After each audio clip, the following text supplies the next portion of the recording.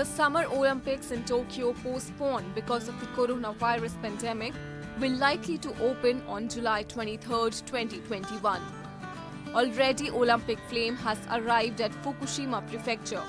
Japanese call it the fire of reconstruction. On March 11, 2011, the Great East Japan earthquake occurred and Fukushima prefecture was severely damaged by tsunami and provoked the accident of Fukushima Daiichi nuclear power station.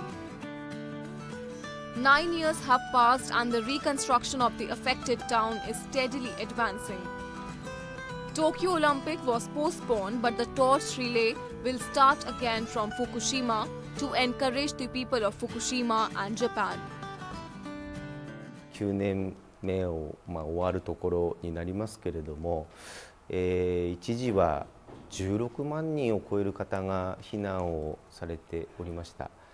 で数は少なくなりましたけれどもいまだに4万人の方が避難を余儀なくされておる現状がございます。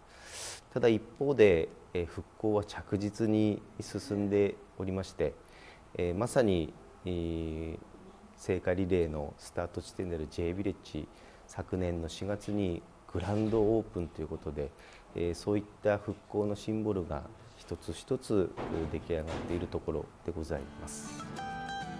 J Village was used by many athletes mainly for soccer as sports facility. After the nuclear power plant accident, it was used as a precursor to reconstruction base as parking and protective clothing fitting place for workers. After the grand opening 2019, Thailand football boys, known by news of rescued from cave, visited as holy spot of football. この J ビレッジがですね、えー東京オリンピックの、 えー聖火リレーのグランドスタート地に、えー選ばれたことは大変、えーと光栄に思っております。この J ビレッジがですね、えー震災の後お自己収束のための、まあ、中継基地として、えーと長らく営業を休止していたわけですが、まあ、これを乗り越えてまた営業が再開できたこの地をですねこのグランドスタートを通して、えー多くの方に、まあ、知っていただきたいというふうに思っています。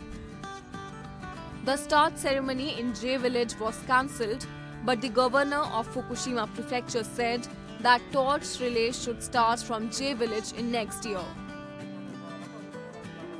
Most of people in Japan agree to this because they recognize it is the symbolic issue of Fukushima and Japan.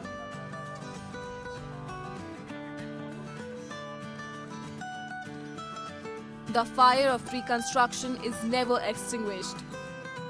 Nine years have passed since 2011 after Tokyo Electric Power Company Fukushima Daiichi nuclear power station accident. Recovering work is progressing dynamically.